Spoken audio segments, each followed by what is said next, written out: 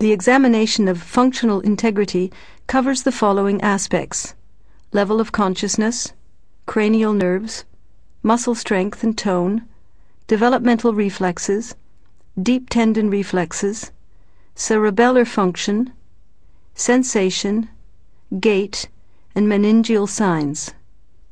In the following examples, particular attention is paid to methods which differ from those used for adults. Determining the level of consciousness can be difficult, especially in very young children.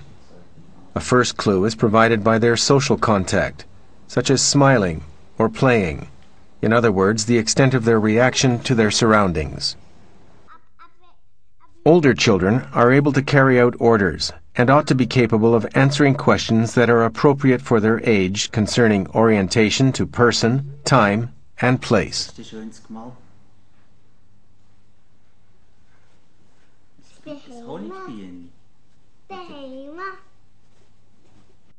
In babies and small children, cranial nerve function is mainly assessed by observation.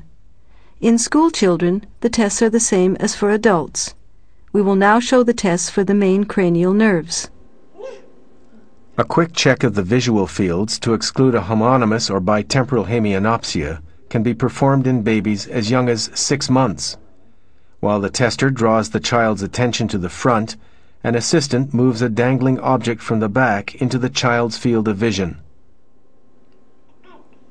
We note when the child moves the eyes to the object and fixes on it.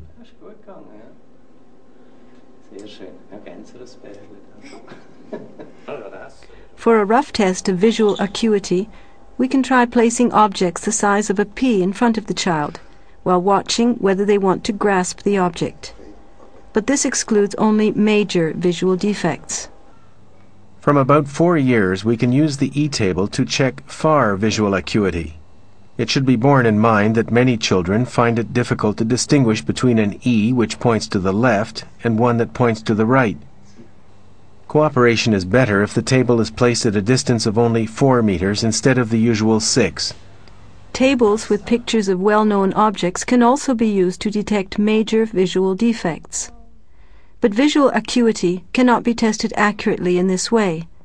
Unfortunately, defective eyesight cannot be definitively assessed until the child starts school.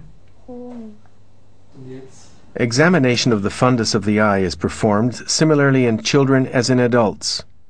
Time must be taken and the child's freedom of movement should be restricted as little as possible.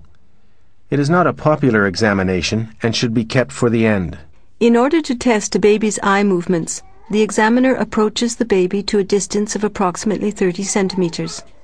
Once eye contact has been achieved, the examiner slowly moves his head in various directions which normally causes the eyes to follow the examiner. Restricted movements and possible nystagmus should be noted. Small children can be interested in the light of a torch, which they like to follow with their eyes. Nerves 5 and 7 can be assessed by observing the spontaneous facial expressions the baby makes.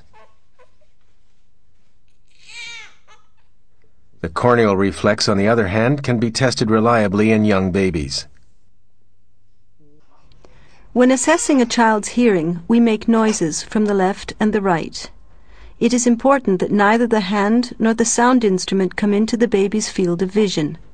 Producing shadows, vibrations, or drafts must also be avoided. A major hearing disorder can be excluded if the baby turns to follow the sound.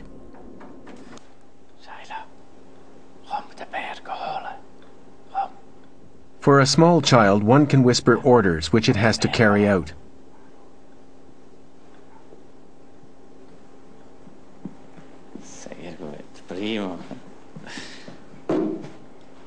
If there is the slightest suspicion of a hearing disorder, a detailed audiological test should be ordered. A congenital hearing disorder ought to be diagnosed before the sixth month. Examining a child's sense of balance is complex. Balance can be tested roughly if the child stands on a soft surface with closed eyes. In order to stand securely, an intact deep pressure sense in the soles of the feet is necessary.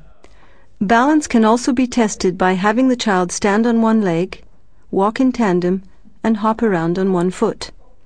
As in the whole examination, the stage of psychomotor development must also be taken into account. Vagus and glossopharyngeal nerve paresis is reflected in an absence of gag and palatal reflexes on the affected side. This test must be performed at the end of the examination.